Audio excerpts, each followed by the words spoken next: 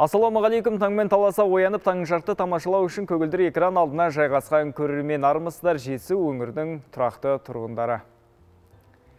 Өздеріңізбен қайта қауышқанымызға бек қуаныштымыз жетісу арнасында таңжарғы ақпараттық сазды бағдарламасы, ал өздеріңізге бір жарым сағат бойы қызмет көрсететін тікелей эфирдің тізгінінде ұлдарыңыз Әділ Құттыбаев.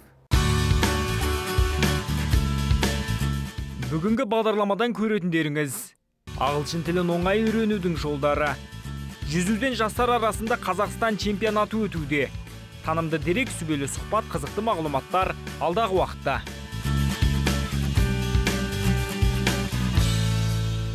миллион миллион жұлдыздар миллион жұлдыздан әдемі бір қыз бар Дәл осындай әсем әнмен сіздердің көңіл күйлеріңізді көтере алдық деген ниеттеміз. Бүгін 27-ші қыркүйек күн жұма.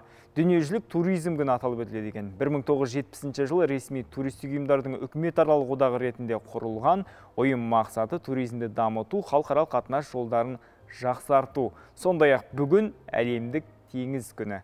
Бұл біріккен ұлттар ұйымының атап өтетін ең маңызды мерекесінің бірі 1978 жылы үкіметаралық консультативті теңіз ұйымының 10-шы ассамблея шешімімен бекітілген. Бұл күннің басты мақсаты жылдан жылға ластанып жатқан су қадірі мен маңызын азаматқа түсіндіру. Ал Мексика мен Сирияда 27 қыркүйек тәуелсіздік күні деп саналады екен. Ал бүгінгі күн тарих беттерінде тағындай өзге де атаулы оқиғалармен есте қалды. Бұны білу үшін күнделікке кезек береміз.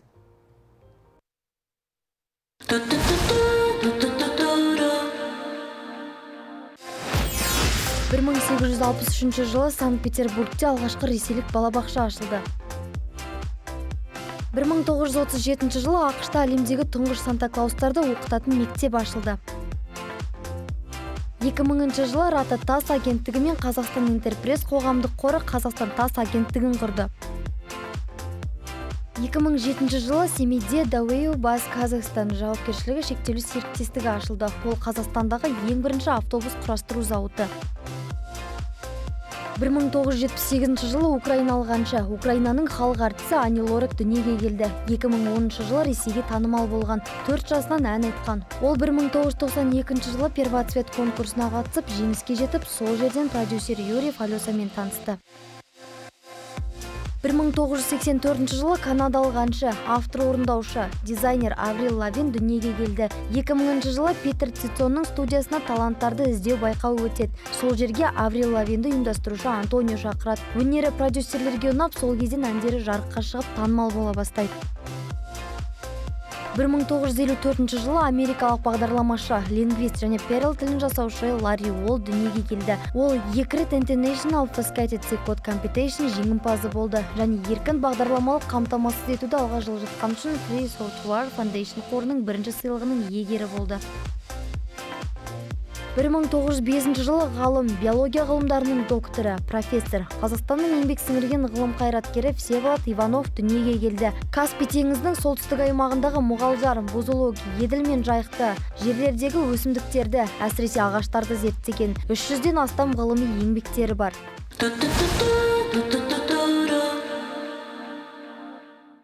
Балаңызды немесе немереңізді қандай спорт түріне бергіңіз келеді? Осы орайда менен де ой кеңес болсын. Егер де балаңыз шымыр шыдамды болғанын қаласаңыз жүзу спортына берсеңіз болады. Өйткені бұл спорт бүгінгі таңда аса даму үстінде. Тіпті қызығушы спортшылардың да саны артып келе жатыр. Тіпті өңір өңірде талапқа сай нысандар да ашылуда. Айта кету керек, қаламызда да дәл осы спорт бағыты бойынша чемпионат өтіп жатыр. Чемпионаттың қаншалықта қарқынды екендігі туралы біздің әріптесіміз барып, арнайлап сюжет түседі. Сюжетке зер салыңыз. Талдықорған орталық бассейнінде жастар арасындағы суда жүзуден қалалық ашық чемпионат басталды. Жарысқа 200-ден аса спортшы қатысып жатыр. Олар 50 және 200 метр қашықтық аралығында бақтарын сынайды. Жалпы жарыс бағдарламасына арқамен жүзу, кешенді жүзу және кешенді эстафета әдістері кірген. Бұл турнир жас спортшылар үшін облыстық кезеңге бәсекеге іріктеу болып саналады. Бұл жерде бір жарыстың ерекшелігі, бұл жерде 100 метр комплекс дейді қазақша 100 метр еркін кешенді жүзу деп аталады. Ол 25 метрдан бүкіл төрт стильді жүзіп шығу керек бұл жерде. А бұл төрт стильді жүзіп шықпаған бала қалған дистанцияларға қатыса алмайды. Сол ерекшелігі. Облыстық чемпионатта топ жарғандар республикалық додада өңір намысын қорғайды. Сайыс ертең аяқталады. Ұйымдастырушылар жас атлеттердің деңгейінің өскендігін айтады. Солардың қатарында алинұр шахан да бар. Тоғыз жастағы спортшы бұған дейін де талай сайыста бақ сынап жүлделі орындарға ие болған. Мен бұл бассейнға тоғыз жасымнан бастап қатысамын. Бұл бассейнға қатысу мақсатым бірінші орында денсаулығым. Екінші орында әлем чемпионы болғым келеді. Үшінші орында қазақстанның туын көкке көтергім келеді. Бұл бассейн мен бассейнға жүзіп үйрену үшін қатысамын. Қаламызда орналасқан орталық бассейн Орта Азиядағы ең үлкен жүзу кешені. Сәулетіне қызыққан жастарда жүзуге әуес. Осы спорт түріне қызығатындардың қатары өскен. Жүзу арқылы денеңіздің бұлшық еті өз формасына қарай қалыптасады. Сондай-ақ артық салмақтан арылуға да көмектеседі. Омыртқа ауруларының да алдын алады. Дамир Нұрмұхамед, Мәди Байбосынов, Таңжарық бағдарламасы.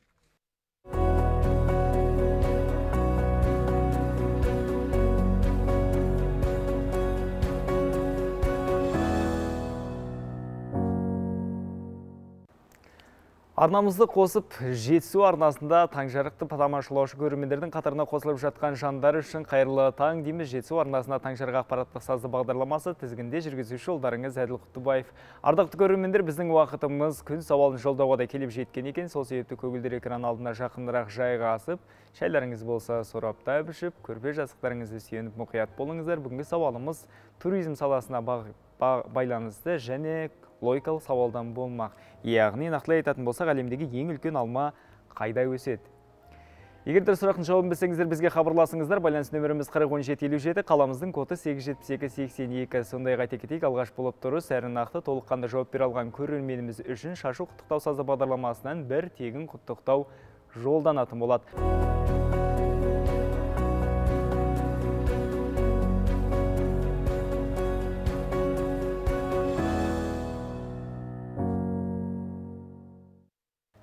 Әлемдегі ең үлкен алма қайда өседі? Бүгінгі сауалымызға жауап берсем деп хабарласқан алғашқы көрермен бар екен. Қайырлы таң, сіз байланыстасыз, тыңдап тұрмыз.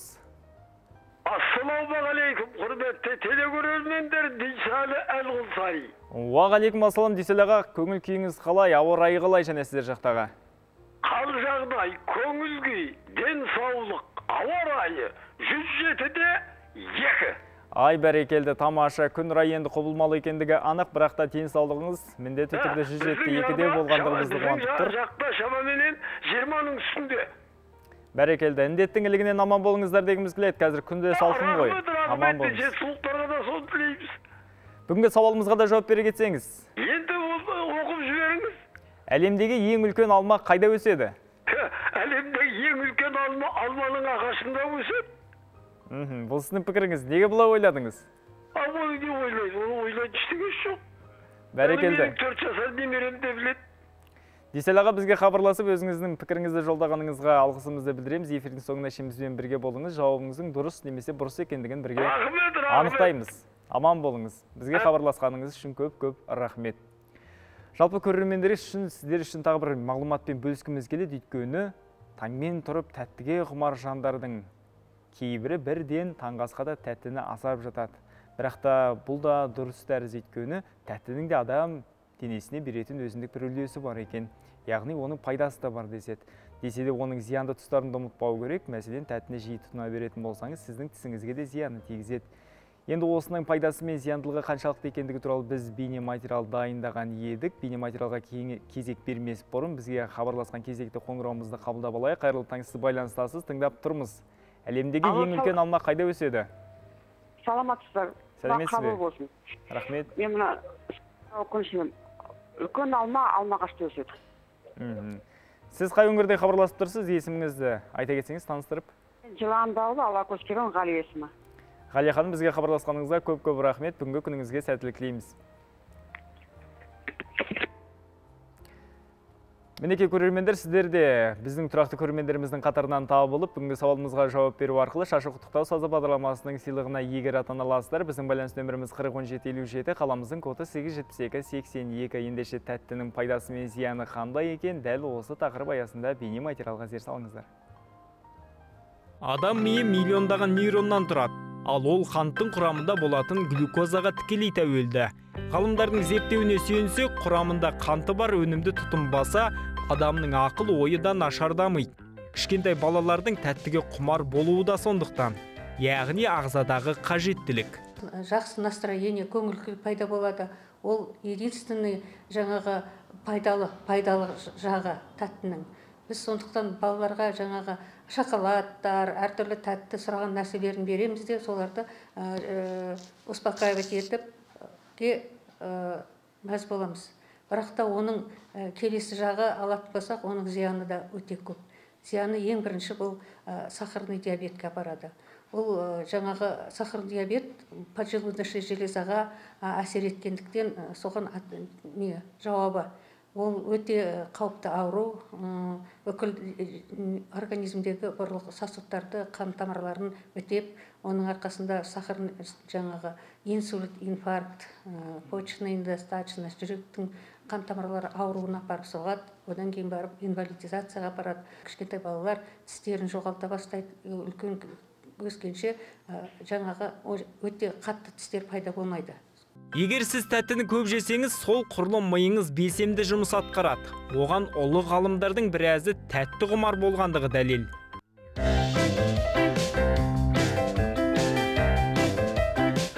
Дегенмен де кез келген нәрсені шамадан тыс қолданса денсаулыққа зиян тигізеді. Эндокринол дәрігерлер соңғы кездері қантты есірткінің ең жеңіл түріне жатқызуда. Себебі күн санап тәттіге құмар жандардың қатары көбейіп барады. Сондықтан қанттың өзінен көрі құрамында глюкозасы мол азық түлікті жеген абзал. Олар түрлі дәндер мен кептірілген жемістер. Ә, барлық нәрсені қандай тамақ болмасын ә, қандай нәрсе болмасын оны меру дейді. Өзінің мөлшерінде жеткілікті мөлшерде жаңа қолдану керек. Неге пайдасы жоқ деп айтуға болмайды оның жаңа тәтті тамақтардың пайдасы бар. Мысалы ол тәттілердің мөлшері неде бар? Біздің өрік мейіз әртүрлі фрукты овощтар бар ғой. Олардың ә, ішінде құрамында ә, жеткілікті мөлшерде тұзы да бар ә, қа- несі фруктоза дейді фруктоза дейді. Ол да бар соның өзі жеткілікті болады.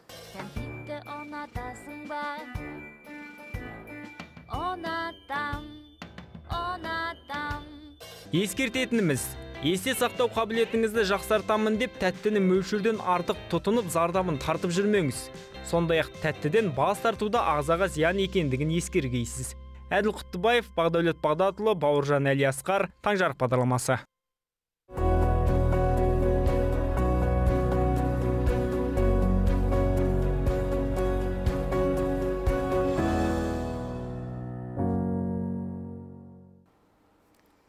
Жұма күндеріңіз жақсылығымен сәтімен болсын дегіміз келеді. Тілеген барша дұға тілектеріңіз қабыл болсын. Эфирде таңжарғы ақпараттық сазы бағдарламасы. Күні кеше ғана 26 қыркүйекте жетісу облысының қоғамдық даму басқармасының тіл оқу әдістемелік орталығында сөз жампозы жүсіпбек атты байқау өткен болатын. Байқаудың жеңімпаздары бүгін біздің студиямыздың төрінде қонақта. Бірден өздеріңізді таныс етейін. Бас жүлде иегері ирина цой және жетекшісі гүлдана мұхаммедқалиқызы а мұхаммед хамқызы кешірім сұраймын бірінші орын иегері хасанова сатсида және жетекшісі торғын шермұханова. Қайырлы таң баршаларыңызға. Көңіл күйлеріңіз қалай? Жақсы. Енді бірден іске көшсек кеше жарыс өтті. Өзге ұлт өкілдері оның ішінде осы қазақ тілінде жетік меңгерген жақсы сөйлейтін азамат пен азаматшалардың арасында байқау өтті. Өзім де куәгер болдым. Ә, жарыс сіздердің көңілдеріңізден шықты ма? Өздеріңізге қалай болды? Мақсаты қандай болды? Өзіңіз тарқатыңызшы. Кешегі өткен байқау жетісу облысы тіл оқу әдістемелік орталығының басшысы жолдыбаев жеңіс хамитұлының бастамасымен мемлекеттік тілді жетік меңгерген тыңдаушылар арасындағы байқаулардың бірі. Байқаудың алға қойған мақсаты қоғам алдындағы мемлекеттік тілдің мәртебесін арттыру тыңдаушылардың ә, мемлекеттік тілге деген қызығушылығын арттыру оларды ынталандыру және қолдау көрсету. Ә, кешегі өткен байқауымыз қазақ әдебиетінің негізін салушы көрнекті жазушымыз жүсіпбек аймауытовтың 135 жылдығына арналды. Байқау өзі үш кезеңнен тұрды. Бірінші кезеңде тыңдаушы өзінің өзін және өзінің туған өлкесін таныстырды.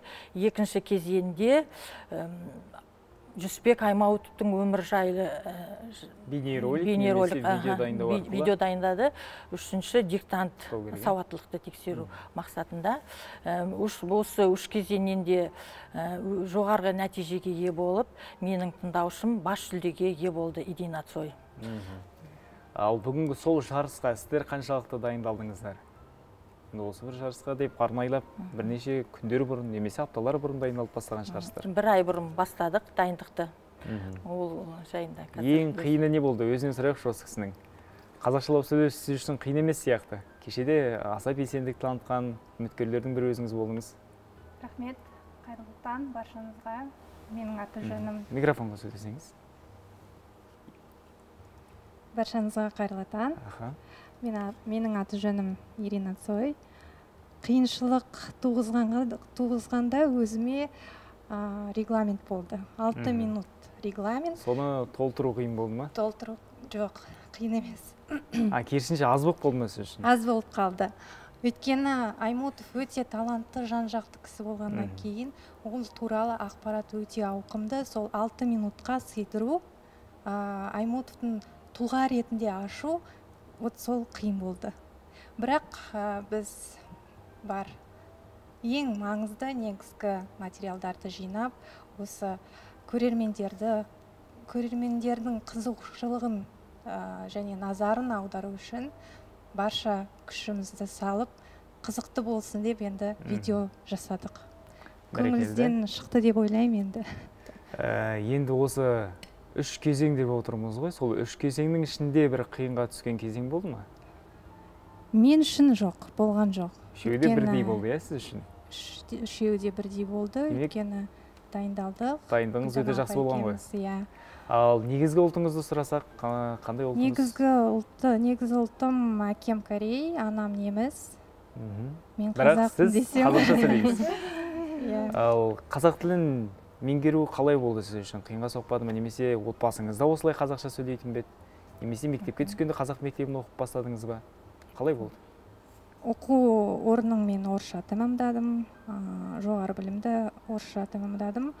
Ә, енді анам негізін қалаушы қалаушы осы мен тілін ғана емес ділін қазақ халқының салт дәстүрін әдет ғұрпын осы кісінің арқасында анам және ата әжем Сол. қазақша үйреніп кеттіңіз. Иә одан кейін тіл орталығының жаңағы барып ә, одан да артып тілімді сөз қорын байытқым келді. Иә сол сол үшін барлық деңгейден өттім қазіргі таңда. Бәрекелді. Барлық курстар ал бүгінгі таңда қызмет атқарып жатқан жұмысыңыз қандай? Бестөбе ауылдық округі әкімінің аппаратында бас маман қызметін атқарамын. Негізі тіл үйрену мемлекет тарапынан барлық жағдай жасалып жатыр. Тек адамның өзінің ниеті болса болды. Иә иә адамның ынтасына байланысты деп ойлаймын өзім ал енді осы жарысқа көшсек жарысқа ұсыныс немесе осылай өтініш білдіруге болатындығы туралы ақпаратты сіздер қайдан естідіңіздер қайдан білдіңіздер? Менің жетекшім гүлдан апай айтты қатысасың ба? Жүсіпбек аймұтов өзі негізі менің сүйікті жазушым. Жиі оқисыз ғой демек? Иә оралхан бөкей жүсіпбек аймұтов менің ең фавориттарым деп айтсам болады. Бәрекелді. Осы жарысқа барғаннан кейін енді бірнеше қатысушылар болды оның ішінде. Жаңағы аудан ауданнан келіп жатыр. Енді оңай адамдар келе бермейді. Барлығы енді дайындықпен жеңем деп келеді жеңілем деп келетін жан жоқ шығар. Бірақ енді сіздердің ә, сіздер өздеріңіз іштей дайын болдыңыздар ма? Біз бас жүлде алып кетеміз ғой немесе Жоқ. аламыз деген сияқты. Жоқ ондай ой болған жоқ. Хотя бы үшінші орын екінші орын деп ойлағанмын шүкір иә. деп шүкір деп бардым иә тәуба. Бірақ бас жүлде дегеннен кейін одан сайын көңілім көтеріліп кетті деп. Мхм. Бәрекелді енді ә, бізде қазір бас жүлдеден бөлек бірінші орын алған мейманымыз да бар. Ол кісіге де сөз тізгінін берейік. Ә, сіз үшін жарыстың қай кезеңі қиынға түсті? Қайырлы таң. Мен есімім хасанова сацита Ә, мен үшін қазақша сөйлеген қиын емес деп ойлаймын. Ә, қазір біздің елімізде ә, мемлекеттік тілді меңгеру үшін барлық жағдайлар жасалған. Сол үшін мен мектепті де қазақша тәмамдадым. Жоғары оқу орынды да қазақша тәмамдадым. Қазір қазақша қазақ тілінде жұмыс жасаймын. Сол үшін маған қиын болған жоқ. Және де ж- 2020 жылдан бастап ақсу аудандық тіл оқу әдістемелік орталығында курсқа жазылып сол жерде де қазақ тілін үйреніп жатырмын. Қосымша. Ә, ал сіз үшін кешегі жарыстың бір қиынға түскен тұстары болды ма? Осы жерде маған қиын болып қалды деген сияқты. Қобалжу болды қиын болған жоқ. Бұған дейін де бірнеше жарыстарға қатысып едіңіздер негізінде? Иә осы тілге байланысты. Иә тілге байланысты. Ал сіз бұл ұсынысты қайдан естідіңіз немесе сізге де жетекшіңіз жетекшім иә жетекшім торғын апай айтқан қатысасың ба деп сол үшін қатыстым. Сізден қарсы пікір болған жоқ. Бірден қатысайық дедіңіз. Иә. Ә, енді шынын айта кету керек біздің өзіміз телеарнаны жүргізіп отырған кезімізде көгілдір экраннан тек біздің ғана ай жүзіміз көрінеді бірақ та ол телеарнаның сыртында жұмыс істеп жатқан жаңағы операторымыз бар режиссеріміз бар продюсеріміз бар қоюшы режиссеріміз бар монтажеріміз бар деген сияқты түрлі түрлі сала қызметкерлері бар. Бір эфирдің сәтті шығуы үшін еңбек ететін. Енді сіздер тек жетекші екеуіңіз ғана қызмет атқармаған шығарсыздар. Бейне жаңағы роликтеріңіз бар түсіріпке көмектескен басқа жұмыстарға да атсалысқан. Сол бір жандарды эфир арқылы өзіміздің алғысымызды жолдап қойсақ қалай болады? Бәлкім тамашалап отырған шығар. Ол кісілердің де бір еңсесін көтеріп қояйық. Ең бірінші абыройын асқақтатып ең бірінші торғын апайға рахмет айтқым келеді. Бұл кісі бастап бәрін дайындап көмектескен және де түсіріп берген мобилографқа рахмет. Және де кітапханада өзімен бірге істейтін қыздар да көп көмектесті. Оларға да көп рахмет айтқым келеді. Бәрекелді. Ә, енді жаңағы бас жүлде алған қатысушы айтып жатыр мен бір ай бұрын дайындалдым дейді. Сіздегі дайындық қаншалықты болды? Мен бір он күн дайындалған шығармын. Төс жүрген он ақ күн дайындалып бірінші орын алып кеткен екен бұл кісінің бағы жанған деседі. Ә, ал өзге қатысушылар да болды ғой. Енді ол Иә. кісілердің бірінші орынға ілікпей қалуына не себеп болды деп ойлайсыздар?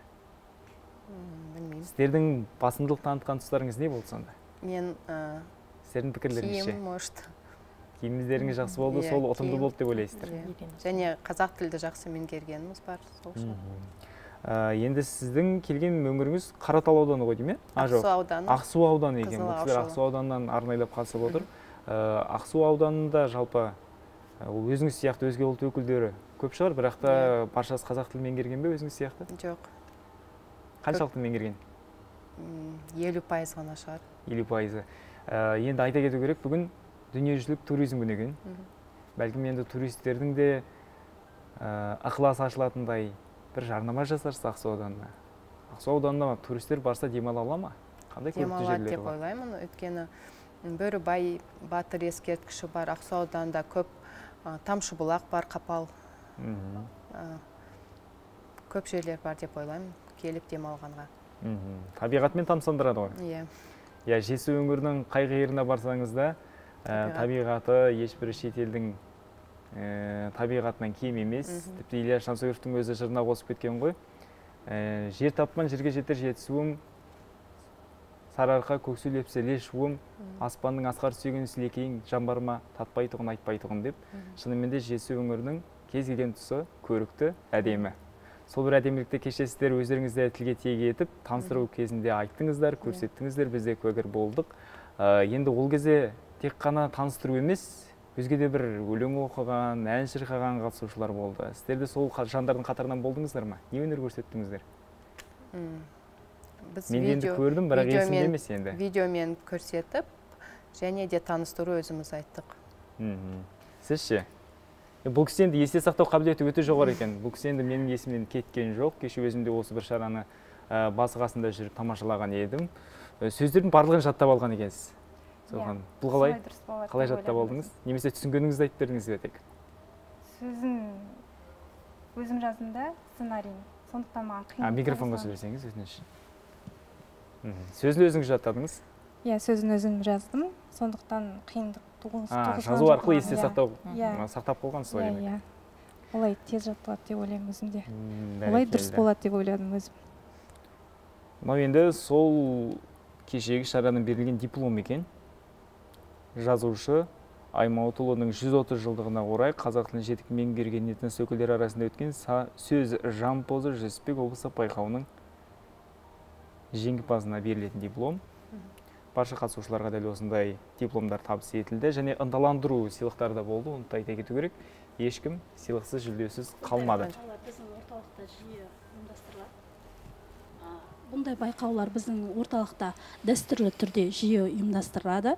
Себебі біздің орталықта а бір деңгейі б бір а екі және в екі деңгейі сонымен қатар іс жүргізу және ағылшын тілі курстары тегін жүргізіледі.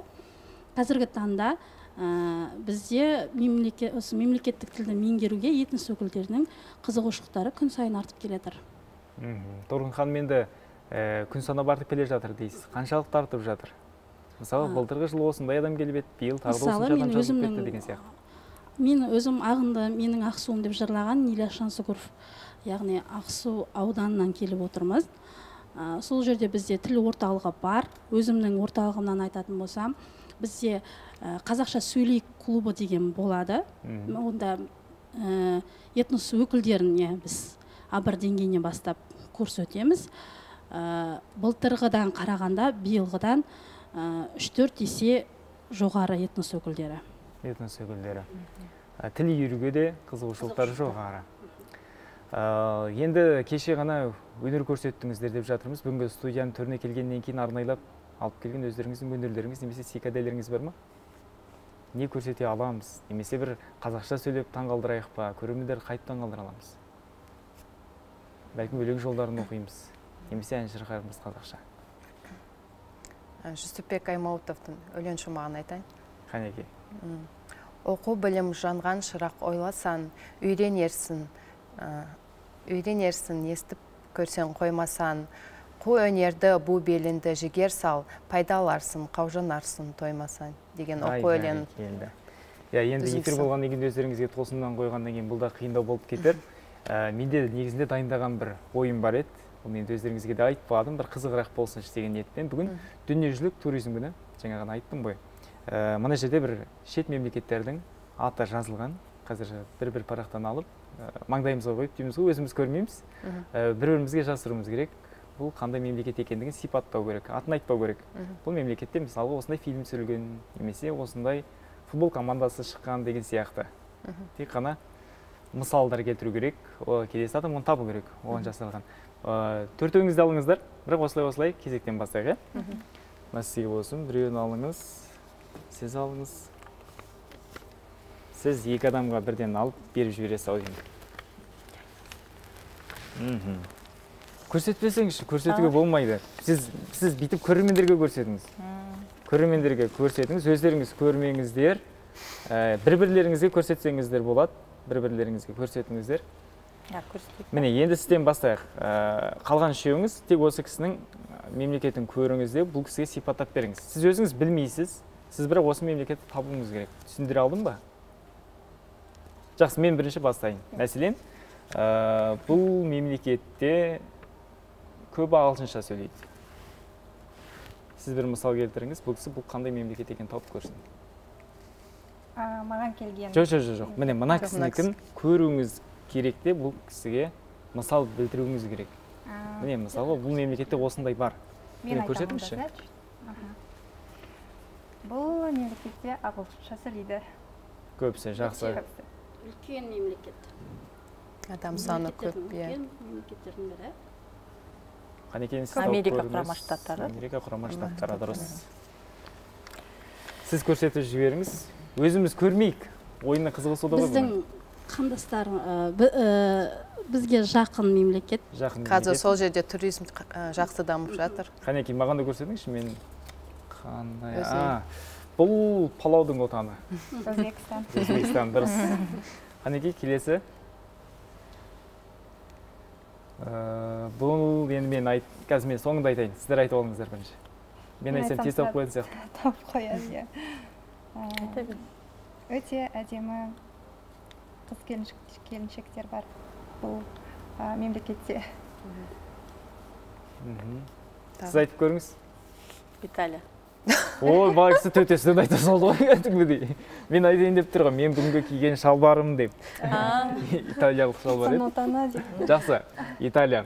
Келесі ә, ең соңғы ханымның мемлекетін бұл кісіге жасырып көрейік. Футбол жақсы дамыған. Иә футбол өте жақсы дамыған бұл мемлекетте. М, содан кейін және бұны де ана ковбойлардың отаны деп испания. Дұрыс өте жақсы өте жақсы. Таппай қала ма деп ойлап едім. Жеңіл бір мысал келтірем бе деп. Ескі қағаздарымызды қоя салайық тағы да бір біріне таңдайық. Түсіндіңіздер ғой деймін енді иә Иә. қарауға болмайды өзіміз қарамайық бірақ бүйтіп көрермендерге бір қаратып алайық сосын қасымыздағы адамдарға көрсетейік. Кезек кезегімен иә? Әуелі бірінші ұстап алыңыздар. Көрмейік көрмейік көрмейік. Екеуін ала салыңыз мхм. Болды сіздер қоя тұрыңыздар енді мына кісінікін тауып көрейік ойбай апайымыз бүйтіп қарай салады екен кәдімгі төтесін көріп қойдыңыз ғой Көрген жоқ. көрген жоқсыз ба? Басқа. мына бірінші бүйтіп төңкеріңіз мына төңкеріліп ұсталып тұр. А төңкеріп тұр. Қарамаңыз біз сізге жасырамыз. Ә, бұл мемлекет өте бір үлкен емес бір қаланың көлемінде ғана деуге болады. Ә, бұлардың ақшасы валютасы евро. Валютасы евро.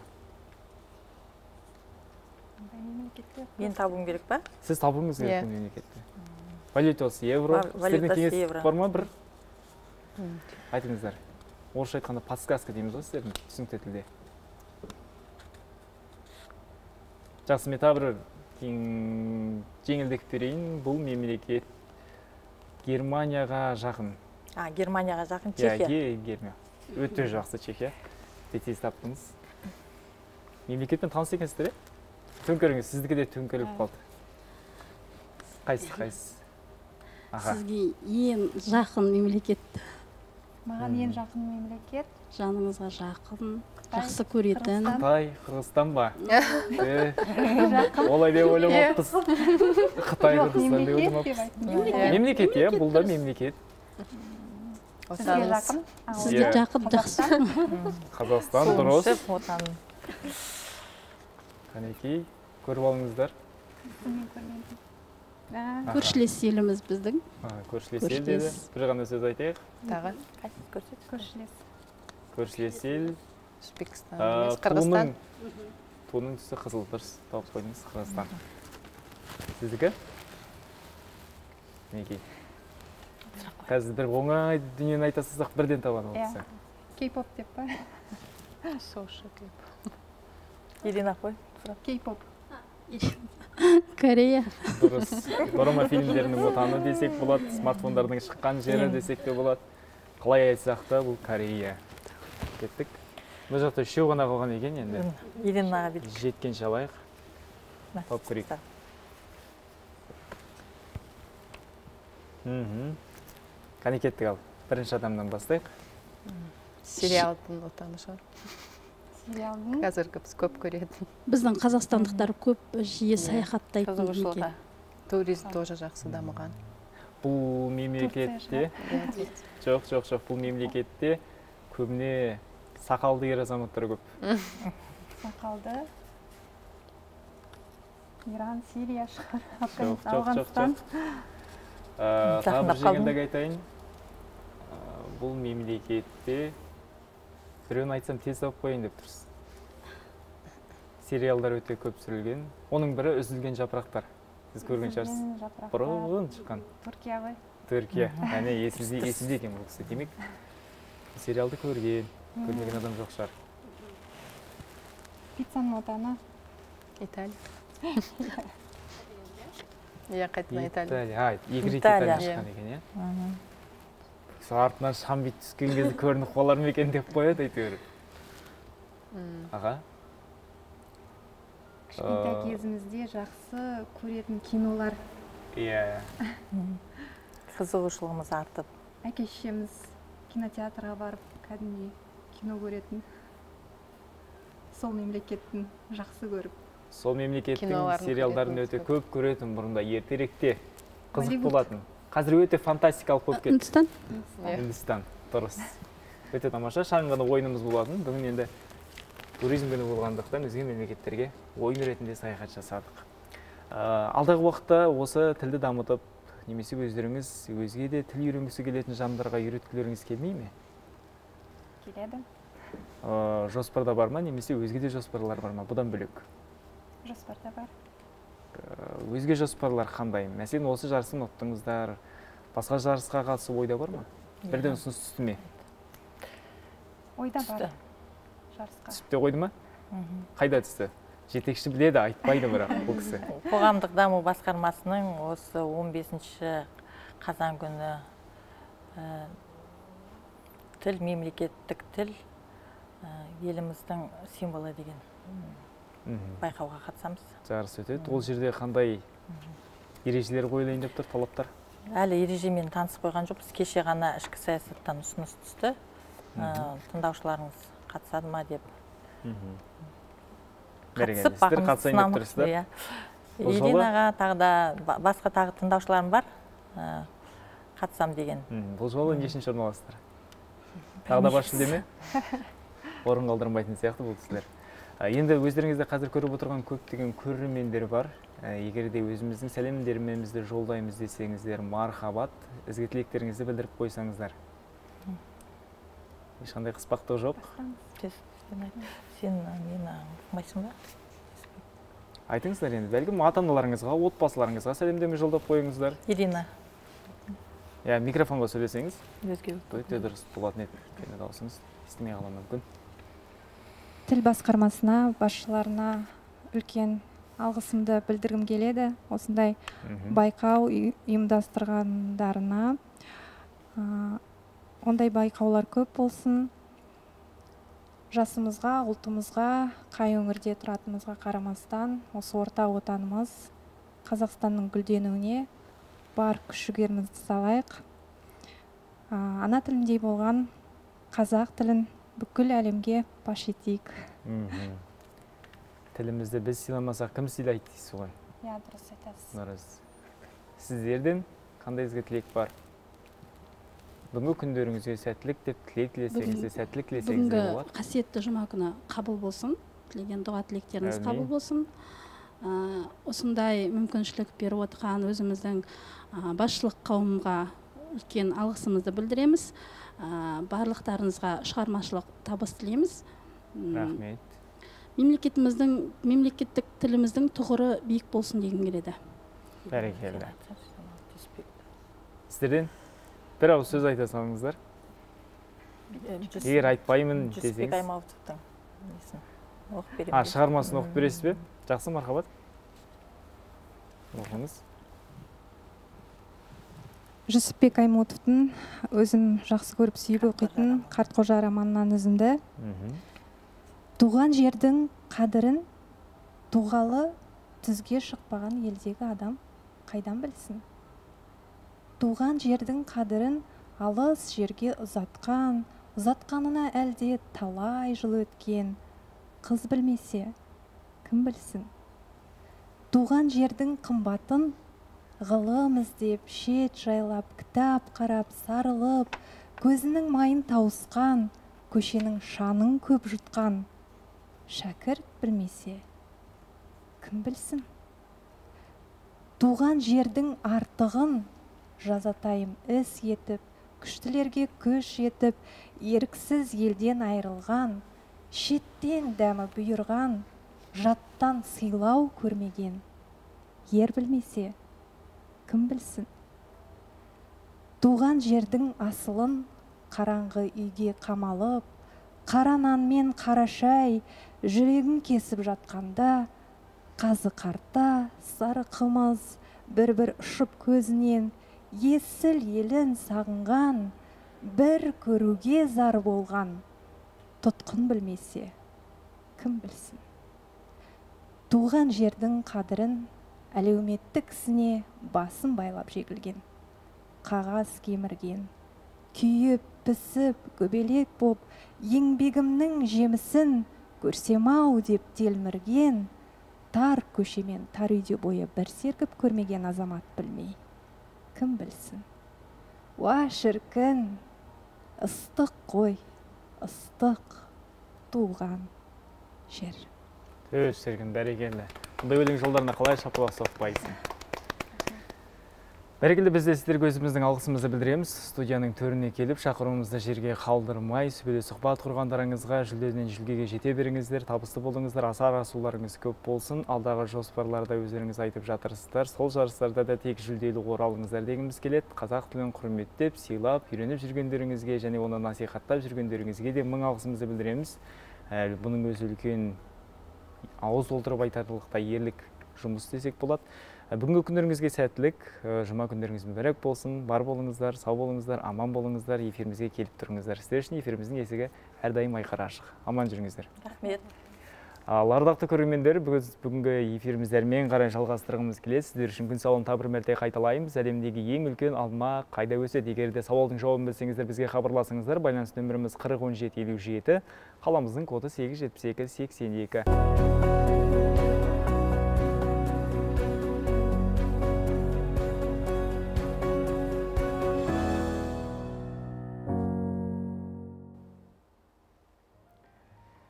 Әйменбет бидің қара қатын құламан батырдың арда күреңін алпамыстың бай шұбарын ер төстіктің шал құйрығын қамбардың қара қайқасын ақан серінің құлагерін білмейтін қазақ кемде кем шығар барша қазақтың біразы оқыды деген ниеттеміз бұл шығармаларда. Сонымен қатар талай туындының жарық көруіне себеп болған талай ақынның қолына қалам ұстатқан аңыздарда жыр болған қазақтың жүйрік аты қаншама. Ал сері деген дүниені біз кезін, кезіндегі біраз шығармалардан оқыдық. Ол кездердегі салы сал сері деген азаматтардың баршасы өнерпаз жандар бүгінгі тілмен айтқанда асыларынан жылқы түспеген. Айтпақшы сол жылқымен өнерді байланыстырғымыз келіп тұр. Жалпы жылқы адамға қаншалықты көмегін береді және пайдасы қандай? Осы сауалдарға жауап іздеу мақсатында біздің әріптесіміз жұлдыз арнайлап сюжет түсірген екен. Ендеше сол бір бейне материалға зер салыңыздар тамашалаңыздар. Жылқы мен қазақ егіз ұғым. Ішсең сусын жесең ас мінсең көлік. Сонымен қатар дәрігеріміз деуге болады. Себебі жылқының денсаулыққа тигізер пайдасы мол. Ендеше жылқы туралы қандай қызықты деректер білеміз және оның қандай пайдасы бар екен бірге сараптап көрейік. Адамзат жылқыны бес жарым мың жыл бұрын қолға үйреткен деген ғылыми дәлел бар. Археологтар ат жалын тартып мінген алғашқы жұрт қазақ жерін мекен еткенін айтады. Көшкенде көлігі әрі соғыстағы сенімді серігі болған жылқы ең текті жануарлар саналады. Осыншама мықты болуының сыры жақсы бапталып күтім жасалуында. Бала секілді ғой ол атты. Атты оны асыраған кезде мәпелеп ұстамасаң атың ауырып қалады ол. Жем шөбін уақытылы беріп отыру керек. Таңғы сағат алтыдан басталады. Оны таңертең шығарғанын шығарады жемін береді артынан оның артынан суғарады шөбін желінеді. Содан кейін таңғы сағат тоғызда атты шөбін беріп суғарып қантарып қояды үстіге басын көтеріп байлап қойды шөпке жетпейтіндей сол содан кейін атты үстін тарап тазалап оны кәдімгідей күтінеді. Содан кейін ол себептен проездкаға шығады тренировкасына. Жылқының құлағы көзі аузы мен мұрыны және сезім түйсігі жақсы дамыған. Ол өз иесінің көңілін алыстан сезеді дауысына қарап эмоциясын ажырата алады. Жануарлар түсті айыра алмайтыны белгілі ал жылқы қызыл мен көк түстен басқасының барлығын ажырата алады. Сонымен қатар фотосуреттер мен картиналардан басқа жылқыларды тани алады. Жылқылардың есте сақтау қабілеті жақсы дамыған өзіне ұрысқан адамды өмір бойы есіне сақтап қалады және достарын ұмытпайды екен. 1949 жылы жылқылардың ең жоғарғы секіру биіктігі 2 метр 47 сантиметр болып ресми түрде тіркелген. Оның көз радиусы өте үлкен тіпті ту сыртында тұрған затты да көре алады. Атқа отырудың денсаулыққа пайдасы мол. Ипотерапия деп аталатын бұл әдіс ашушаң. Аса дөрекі. Агрессияға бейім адамдарға жақсы көмектеседі. Себебі оған мінгенде жануардың темпоритміне назар аударады. Бұл құбылыс адамды тәуелділікке еріксіз итереді. Мұндай тәжірибе азаматтың түп санасында қоршаған ортамен санасуды қалыптастырады. Психоэмоционалды тұрақтылықты нығайтады. Сондай ақ жылқыға жайдақ міну барлық ішкі құрылысқа ем. Оны әлем ғалымдары дәлелдеген. Мәселен швед геологы цельсия андрес ішке асқазан жолдарында пайда болатын қиындықты осы әдіспен еңсеруге кеңес берген. Пайдасын былай айтып тұрсақ шексіз пайда ғой бұл. Өйткені аттың терісінің өзі пайда ә, сүті пайда еті пайда атты қазақта сөз бар ғой мінсең көлік жесең тамақ ішсең сусын деген. Мына жылқының саумал қымыздың өзінде неше пайдасы бар мына атқа мінген кезде терісі шығады. Пот дейміз ғой. Сол теріс шығады ол терісі неше түрлі аурулардан пайда болады ол. Сол себептен мына жылқының етінде мысалы холестерин болмайды мына қазіргі заманда. Холестерин деген адамдардың көбісіне кездеседі давление жүрек қысымы сол, сол себептен жылқы етінде холестерин болмайды сол пайда болады. Дәрігерлер жиі атпен серуендеудің пайдасы көп екенін айтады. Ол қан айналым жүйесін жүйке мен тыныс алу жолдарын қалыпқа келтіреді. Кезінде ата бабаларымыз өзге малдың етінен қарағанда жылқынікі асқазанға жеңіл екенін және майы 17 түрлі ауруға ем болатынын айтқан. Халқымыз ежелден жылқы өнімін емдік мақсатта көп қолданған. Мәселен белінен шойырылып жүре алмай қалған адамды ту биенің терісіне орап ауруынан айықтырған. Ол үшін адам тері ішінде 21 күн бойы 2 сағаттан жатуы тиіс. Ал суық тиіп шаншу қадалғанда жылқының тезегін өртеп күліне жатқызу арқылы емдеген. Адамның құлағы ауырып мазасы кетсе кепкен тобықты қыздырып майын құлағына тамызған. Жұлдыз қожахметова абзал нүсіп арнайы таңжарық бағдарламасы үшін.